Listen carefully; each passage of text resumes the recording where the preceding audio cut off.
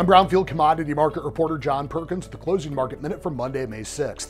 Soybeans and corn both closed higher, continuing to see support from the weather. Stateside, most forecasts have more planning delay in rain in parts of the Midwest and Plains to start off this week, and parts of the region could see severe storms, including a chance for high winds, tornado, and hail in parts of the region. USDA's weekly crop progress and condition numbers right after the close on Monday, and the new supply and demand estimates are out this upcoming Friday.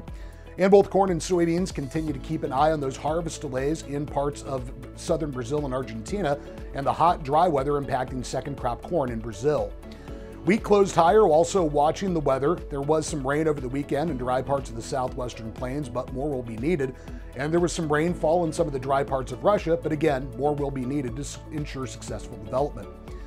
Live cattle were mostly lower and feeders were down, watching the direct cash cattle markets and the distribution of this week's show list. Feeders had additional pressure from that higher move in corn, and hogs were mixed, mostly lower, on questions about sustained pork demand. With the closing market minute for Monday, May 6th, I'm Brownfield commodity market reporter John Perkins.